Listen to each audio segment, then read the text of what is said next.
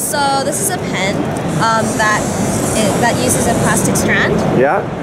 which we just put in, and this melts it, and immediately it comes out like that. It's like a hot glue gun. Yeah, it's very similar to a hot glue gun. And what kind of plastic is that? So this one, the current, uh, the one that I'm using right now, is ABS. Okay. We also have PLA and our Flexi plastic, which is this one.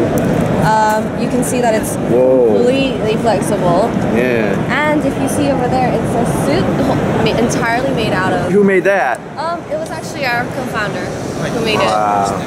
And of course, it's stuff like this. Yeah, this is PLA. So this is PLA. And then this is very thin, so there's little tips that you can get that vary the, the thickness of the, the doodle. Yep. Okay, so I'll make you a little cube.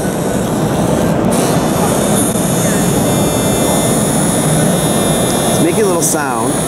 Yeah, and that's actually the cooling fan. There's a lot of electricity going in there.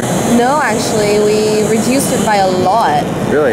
Yeah, I'm not actually sure of the exact. 5 volts, 1.2. There we What go. is that? 5 volts, 1.2. And who is that guy?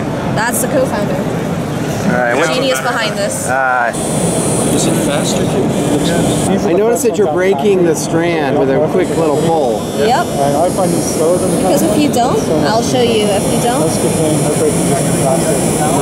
it, it just does this. You can stretch it. We only had a one. Uh, And I think it's another technique that we use. There you go. You can take this.